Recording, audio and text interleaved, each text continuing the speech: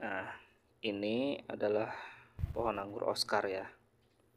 Usianya kurang lebih 8 bulan ya. Dan ini sekarang sedang berbuah dan usia buahnya kurang lebih 60 HSP ya.